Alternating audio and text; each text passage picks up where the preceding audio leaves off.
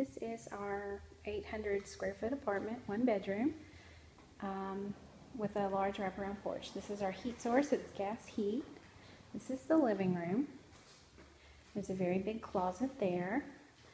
That door goes to the other side, it's a duplex and it's always locked. This is the kitchen. That's where your shelving, wall, microwave, whatever goes. There are high ceilings here. You can see the beams. Uh, that's a very high outputting air conditioner. Right here is where most people put their kitchen table because it's a tiny kitchen. I'm walking back to the bedroom now. This is the bedroom. It's very large. Uh, we, my grandmother had a queen size bed and two or three chest of drawers in here and a vanity table. So it's pretty big. And here's another closet. It's nice size.